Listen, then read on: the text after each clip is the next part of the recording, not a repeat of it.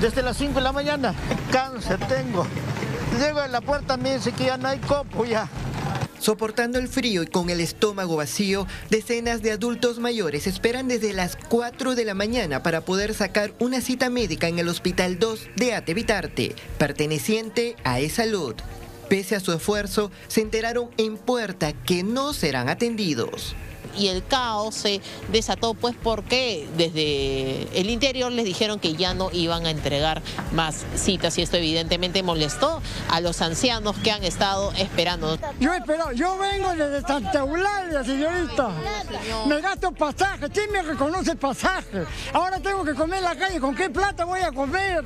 Y estamos de las 5 de la mañana y luego salen estos momentos a decirnos que no hay cupo. A mí no me parece justo, ¿no? Estamos reclamando lo que es nuestro derecho. Este es el caso de Felisa Cayagua, quien viene esperando desde hace casi cinco años para ser atendida por un traumatólogo y un oftalmólogo. ¿Cuánto tiempo tienes esperando? Cuatro años no me atienden a mí. Llamo por teléfono, antes llamaba, tampoco.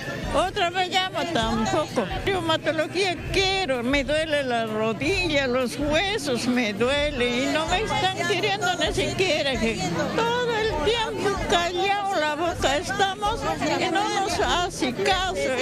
Otros denunciaron que el centro de salud dispuso de tan solo un día para atender a los pacientes de oftalmología. No hay este, ya no hay para la vista, no hay para la vista, nos dicen, nos mienten, señorita. a comunicarnos y decirnos no les vamos a atender. Son dos meses, dos meses estamos así, dos meses, con este tres meses ya. Imagínate, a ver. Sin este ticket no nos van a atender y allá Mientras que cientos de ancianos están a la espera de acceder al servicio de salud, ni el Hospital 2 de Atevitarte ni el Seguro Social respondieron a este problema que se repite en todos los centros de salud del país. Solamente informaron que Felisa Cayagua será atendida este 30 de octubre a la una de la tarde. Por lo demás, optaron por guardar silencio. No tenemos.